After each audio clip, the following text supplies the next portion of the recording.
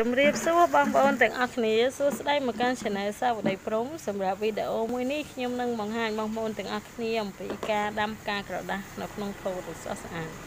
ផ្កាក្រដាសគឺយើងអាចដាំវាបាននៅក្នុងថូដ៏ស្រស់ស្អាតទាំងអស់នេះគឺជាការរចនាដ៏ស្រស់ស្អាតអំពីពីអ្នកដាំផ្កាក្រដាសសម្រាប់លក់ផ្កាក្រដាសនេះ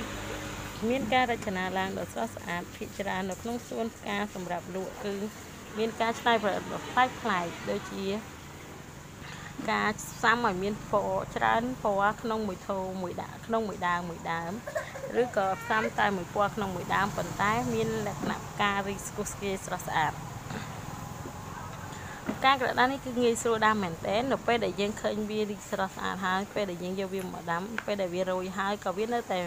រីកឡើងវិញនៅតែមានភាពស្រស់ស្អាតដដែល វាងាយស្រួលថែទាំនិងងាយស្រួលដាំដុះហើយមិនពិបាកហើយមិនរើដីទៀតផងភាគច្រើនចំពោះការផ្សេងផ្សេងនៅពេលដែលយើងទិញយកមកដាំហើយភាគច្រើនវាមិនបានការស្អាតដូចដែលដូចផ្កានៅក្នុងសួនទេប៉ុន្តែផ្កាក្រដាស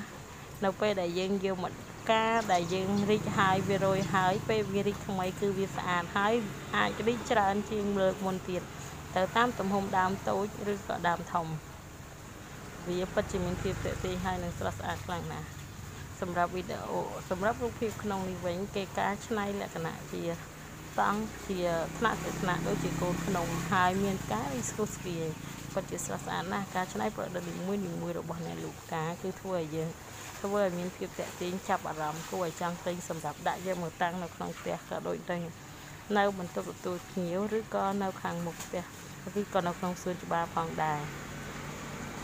សម្រាប់បងប្អូនទាំងអស់គ្នាដែលមិនទាន់បានចុច Subscribe សូមជួយចុច Subscribe និងចុចសញ្ញារូបកណ្ដឹងដើម្បីទទួលបានវីដេអូថ្មីៗពី Channel យើងខ្ញុំបន្តទៅទៀតនេះសូមទស្សនាកម្រងរូបភាពដ៏ស្អាតស្អាតអំពីការដាំផ្កាក្រដាសនៅក្នុងថូដែលមានលក្ខណៈប្លែកៗគ្នាដែលមានរចនាបថផ្សេងៗគ្នាក៏ដូចជាផ្កាក្រដាសចម្រុះពណ៌គ្នាផងដែរ